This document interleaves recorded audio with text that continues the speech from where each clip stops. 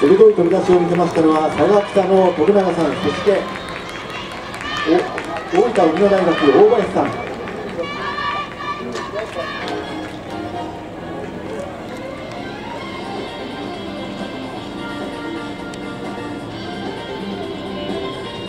スクリーンにはライブリザルトが表示されています。1着大林さん。大分沖野台12秒14 2着出口ひなりさん筑紫女学園。12秒27 3着前田さん中心女子。